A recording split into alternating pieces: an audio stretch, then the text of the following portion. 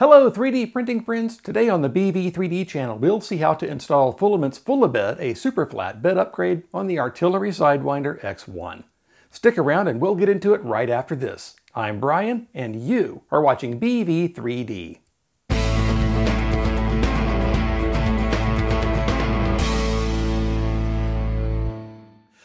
Hi, welcome back. Hey, if you're new here and you're wanting to learn about 3D printing, 3D modeling, and other 3D printing related stuff, start now by subscribing and clicking the bell so you don't miss anything. Okay, so today we're going to install a bed upgrade on the Artillery Sidewinder X1. Fulament sent this to me a little while back so we could get a look at it. This is the Fula-Bed upgrade. It's a super flat 300 by 300 millimeter build plate with a guaranteed flatness within 0.15 millimeters.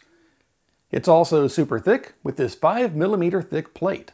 But it's not just an ordinary 5mm thick 300 by 300 millimeter build plate. It's a 5mm thick 300 by 300 millimeter magnetic build plate with 55 high temperature magnets embedded on the underside and holy heck are these things strong. They pull that spring steel sheet down hard and if you're not careful you might get bit. And since it's a magnetic build plate, there's a choice of flex plates. Fulament calls these Fula-Flex 2.0 plates. The plates are available in a single-sided option with a smooth PEI surface and a double-sided option with smooth PEI on one side and textured PEI on the other. And there's a high temperature bed heater available for it too that can reach 150 degrees Celsius and stay there. That would be ideal for high-temp materials such as nylon or polycarbonate when used in conjunction with a printer enclosure. The Artillery Sidewinder X1 uses mains power for the bed, so that same 110 or 220 volt power that comes into the printer is also used to power the bed heater. That power is switched on and off in a controlled manner by a solid-state relay that Artillery includes inside the printer's body. As a safety feature, the Fula-Bed heater includes a thermal fuse. So if something bad happens and the solid-state relay gets stuck in an on position, that thermal fuse will cut power to the bed heater, preventing dangerous overheating. As of this recording, the Fula-Bed components are in a pre-order state on Fulament's site at fulament.com. And I use the word components deliberately because this bed system is sold a la carte. You choose which components you want, the Fula-Bed itself, the flex plates, and the bed heater. When ordering the Fula-Bed for the Sidewinder X1, you can choose to add a 110 volt heater or not, and whether to add a single-sided or double-sided Fula-Flex 2.0 sheet. The price is adjusted as you add or remove components. So the kit Fulament sent to me is designed to fit my Sidewinder X1, but they'll have kits for other printers as well, such as the Creality Ender 3 and Artillery Genius. This kit included the Fula-Bed, the Fula-Bed heater, and the double-sided Fula-Flex 2.0 spring steel sheet. It also included all the necessary mounting hardware. Installing it is mostly pretty easy. I say it's mostly pretty easy because it was a little difficult to remove the hot glue globs securing the bed thermistor cable into its socket on the mainboard. But that's not Fulament's fault. If you've ever looked inside a 3D printer, there's usually a lot of hot glue on the connectors. Printer manufacturers do this to make sure the connectors stay put during shipping. It's great for helping to make sure nothing comes loose, but it's a pain when you want to actually unplug something. Okay, well let's go through the installation in greater detail so you can see how to do it. I decided the best course of action would be to install the bed heater onto the full bed before doing anything else. It's a peel and stick thing, and once it's stuck, it's stuck, so you pretty much have to get it right the first time. The bed heater goes on the underside of the bed. That's the side where all the magnets live. In order to make sure nothing would interfere with the adhesive, I cleaned the underside of the bed with some isopropyl alcohol on a microfiber cloth and waited for it to dry. Before peeling the backing off of the adhesive, I set the bed heater onto the bed to get an idea of where it would sit once it was installed. The heater goes almost all the way to the edges of the bed, leaving just a few millimeters all the way around. So, knowing that, I peeled about a third of the backing away from the adhesive and carefully set the front edge of the heater on the bed, making sure it was centered and evenly spaced at the front. Then I pressed down in the center of that part to stick it onto the bed and started peeling the backing away a little at a time, pressing down with my fingers to stick it down, working all the way to the back.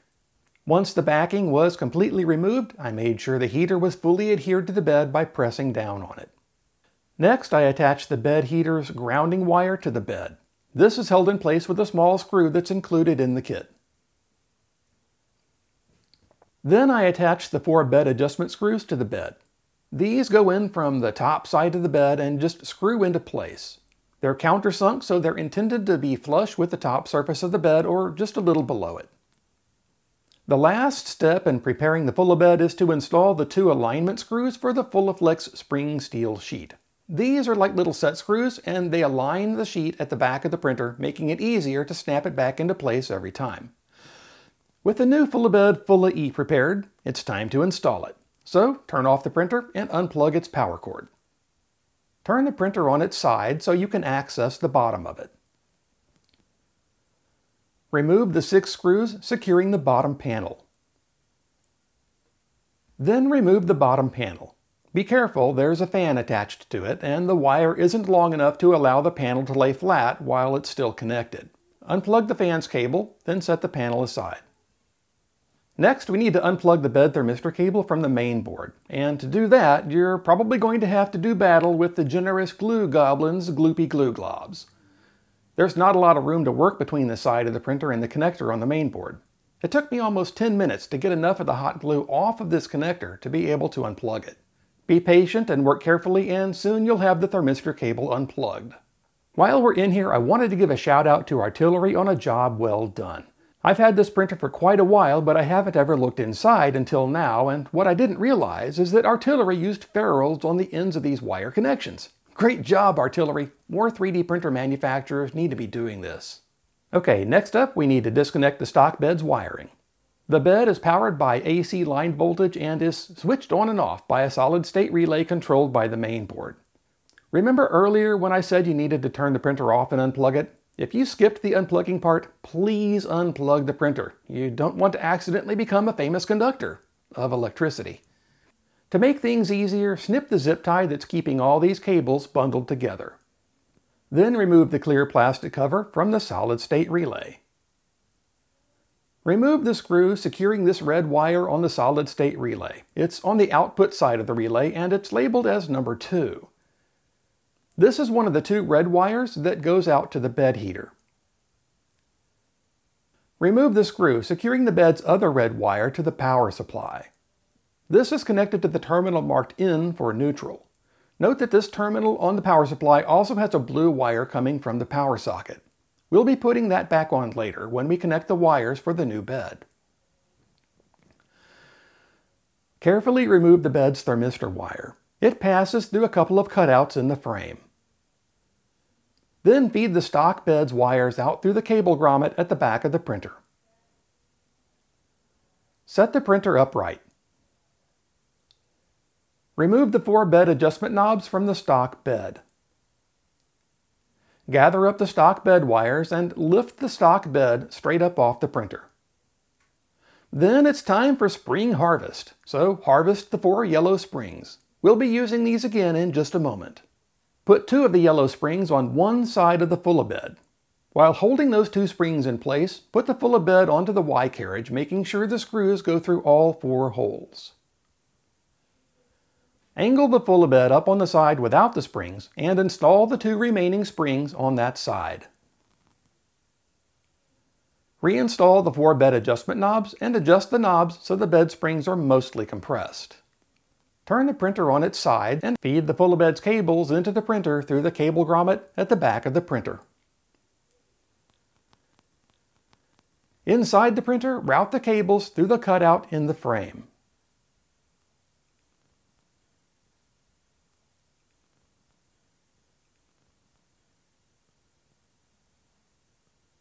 Connect the bed heater wires.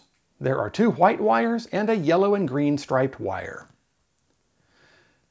Connect one of the white wires to terminal number 2 on the solid state relay, where we removed the stock bed wire. Make sure this is well tightened.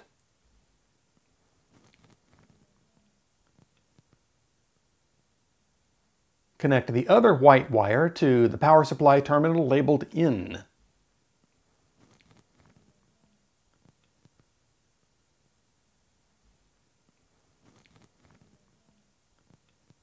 Don't tighten it all the way yet. Add the blue wire from the power socket, then tighten the screw to clamp these connectors in place. Remove the screw from the yellow wire on the power supply's ground terminal. Using that screw, reattach the yellow wire along with the ground wire from the full bed and tighten the screw to clamp the connectors in place.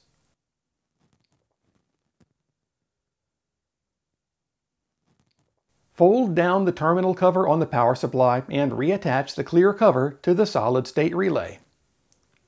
Route the full Fula-Bed's thermistor cable through the remaining cable clips and frame cutouts to get it over to the main board. Plug the full Fula-Bed's thermistor cable into the main board where the stock thermistor cable had been. Zip tie the cable bundle together again back near the solid state relay. Now let's reattach the bottom panel. Plug the bottom panel's fan into the main board.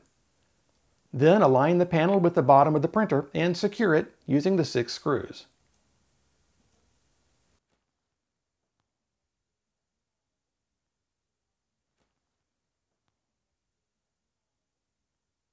Now plug the printer in and turn it on. Look at the screen to verify that the full bed thermistor is reading about the same as the nozzle. These values should be right about at room temperature. If the bed isn't showing a temperature similar to the nozzle, or at least showing room temperature, turn off the printer, unplug it, and make sure the thermistor cable is plugged in all the way on the main board. Maybe some small bit of hot glue stayed behind and got in the way. Okay, so now that it's installed, the only thing left to do is level or tram the bed again. Then you should be able to get to printing. So now I'd like to share some observations about the Fula-Bed.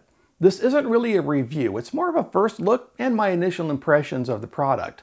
I've printed a little bit with it and so far it's been great. One of the things about a magnetic flex plate is that it makes it so easy to remove prints once they're done. They're one of my favorite 3D printer features and I often add them to my printers that don't have them. Now my regular use of this is generally going to be with PLA and PETG. I don't have any materials that need bed temperatures up in the 150 degrees Celsius range, but I did confirm that the bed would in fact reach that temperature. Check out those heat waves coming off of it. If you're going to be printing materials that need bed temperatures like that, you're probably going to want to have your Sidewinder X1 in an enclosure to keep the ambient temperatures high enough that those materials won't warp or delaminate. Regarding the flatness of the Fula-Bed, I figured a good way to show that off would be to place a ruler edgewise on the bed and see if I could shine some light under it. That would reveal low spots. And when I did that, I could barely see any light leaking underneath that ruler. So that seemed to me like it lives up to the claim of being super flat. These alignment pins at the back of the bed are really helpful in making sure the flex plate is lined up with the bed. Just push the flex plate against them and let it drop. But you have to be careful when you're putting that flex plate on. The magnets Fulament uses are ridiculously strong and if you're not careful, you could get a finger pinched. Strong magnets are a good thing though. This flex plate isn't going to come off the bed until you take it off. And having two usable surfaces on the Fula-Flex 2.0 plate is pretty cool too. I like using the textured PEI side because I like the way it looks on the prints. And if I want a smooth surface on a print, I can flip the plate over and use the smooth side. So I'm going to keep on using this, and if my opinion changes or I run into an issue, I'll let you know. Well, 3D printing friends, that's about all the time we have for this episode. And now that we're at the end, Let's go print something cool. Hey, real quick before you go, I wanted to say thanks for being one of the super awesome people who sticks around all the way to the end, and thanks for all the likes, comments, and shares. And an especially big thanks to those who directly support what I do. You're all wonderful for doing that, and I really appreciate it. If you liked this episode, a thumbs up would be great, and if you'd like to help support the channel, check the description for ways you can do exactly that. And hey, if you haven't already subscribed, please do. It's absolutely free and it's an excellent way to help keep me making these videos for you. Well, that's it for this one. Thanks again and I'll see you next time here on the BV3D channel.